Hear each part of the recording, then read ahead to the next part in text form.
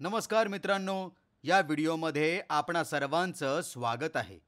आपण मागच्या व्हिडिओमध्ये इष्टिका चितीच्या घनफळाचा व्हॉल्यूम ऑफ क्युबॉइडचा अभ्यास केला होता. आज या व्हिडिओमध्ये आपण यावर आधारित काही मनोरंजक उदाहरणे पाहूयात. थॉमस तुला माहिती आहे का? हवा जीवनासाठी किती महत्त्वाची आहे ते? होय मानस हवा कोणत्याही प्रजाती जिवंत राहण्यासाठी अतिशय महत्त्वपूर्ण आहे. कारण हवेतूनच आपल्याला ऑक्सिजन मिळतो. थॉमस या खोलीमध्ये सुद्धा हवा अस्तित्वात आहे का? तुम्ही सांगू शकाल का या खोलीमध्ये किती हवा भरलेली आहे ते? नक्कीच मानस. याचं सूत्र सुद्धा आपल्याला गणिताद्वारेच मिळू शकतं. अरे वा!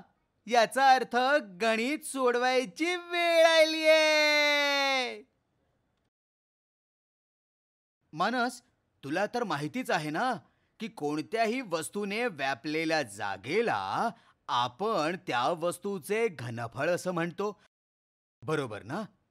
कारण या पूर्ण खोलीत हवा भरलेली असल्यामुळे आपण असे म्हणू शकतो की या खोलीत असलेल्या हवेचे घनफळ या खोलीच्या घनफळाएवढेच असेल. हे बघ थॉमस ही खोली इष्टिका चिती आकाराची आहे. तुला इष्टिका चितीचे घनफळ व्हॉल्यूम काढायचे सूत्र माहिती आहे का रे? नक्कीच मानस.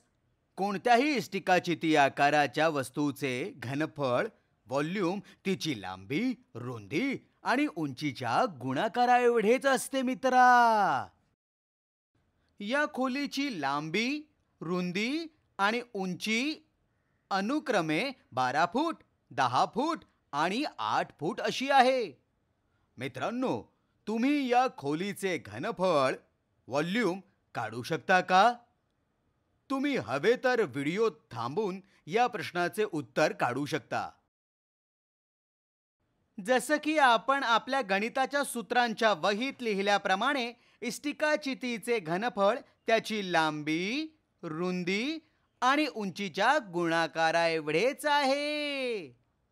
आता फक्त मी इथे एल बी आणि एचच्या जागी अनुक्रमे खोलीची लांबी बारा फूट रुंदी दहा फूट आणि उंची आठ फूट अशी लिहिणार आहे. हे बघ मानस खोलीचे घनफळ व्हॉल्यूम नऊशे साठ घन फूट आहे. याचा अर्थ या खोलीत नऊशे साठ घन फूट इतकी हवा आहे.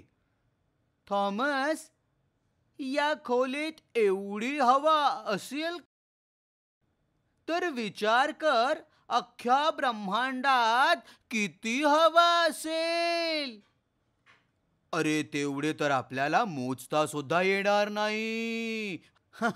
चल आता आपण आपल्या जगात परत जाऊ आणि मस्त खुल्या हवे बागेत फिरायला जाऊ. दोघे मित्र बागेत फिरायला निघून गेले.